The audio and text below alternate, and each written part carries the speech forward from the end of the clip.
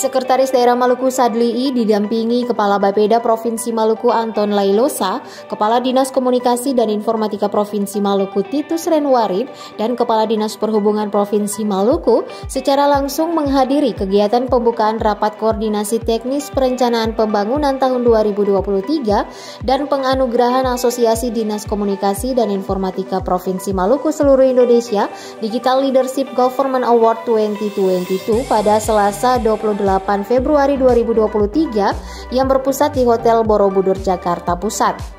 Kegiatan dibuka secara resmi oleh Wakil Menteri Dalam Negeri Republik Indonesia John Wempi Wetipo yang ditandai dengan pemukulan gong. Dihadiri oleh Ketua Askomsi, Dirjen Bina Pembangunan Daerah, Dirjen Bina Keuangan Daerah, Rektor IPDN, Gubernur, Sekda, Pimpinan Tinggi Pratama dari Kemendagri, Kementerian PPN Bapenas, Kepala Bapeda, Kepala Dinas Kominfo, Bupati Wali Kota, Pimpinan OPD Provinsi se-Indonesia, stakeholder beserta unsur terkait lainnya. Dalam arahannya, Wetipo mengatakan sebagaimana amanat pasal 258 Undang-Undang Nomor 23 Tahun 2014 tentang pemerintah daerah Pembangunan daerah dilaksanakan untuk melakukan beberapa tujuan, di antaranya peningkatan dan pemerataan pendapatan masyarakat, kesempatan kerja, lapangan berusaha, akses dan kualitas pelayanan publik, dan daya saing daerah sebagaimana amanat pasal 258 Undang-Undang Nomor 23 Tahun 2014 tentang pemerintah daerah.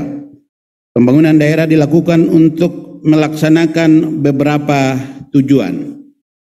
Di antaranya yang pertama, peningkatan dan pemerataan pendapatan masyarakat.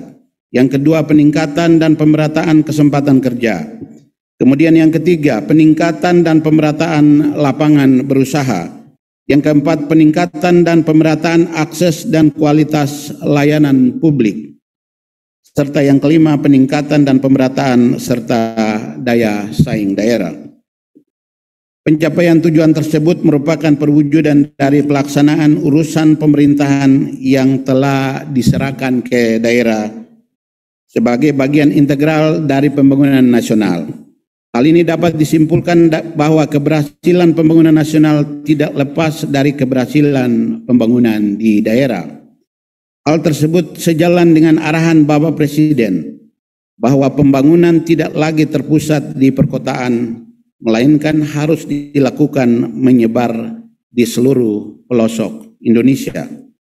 Kemudian berdasarkan peraturan Presiden nomor 18 tahun 2020 tentang Rencana Pembangunan Jangka Menengah Nasional atau RPJMN yang telah ditetapkan tanggal 17 Januari 2020 telah juga dijabarkan bahwa salah satu komitmen pemerintah dalam pembangunan daerah dan desa yaitu membangun Indonesia dari pinggiran dengan memperkuat daerah-daerah dan desa dalam kerangka negara kesatuan.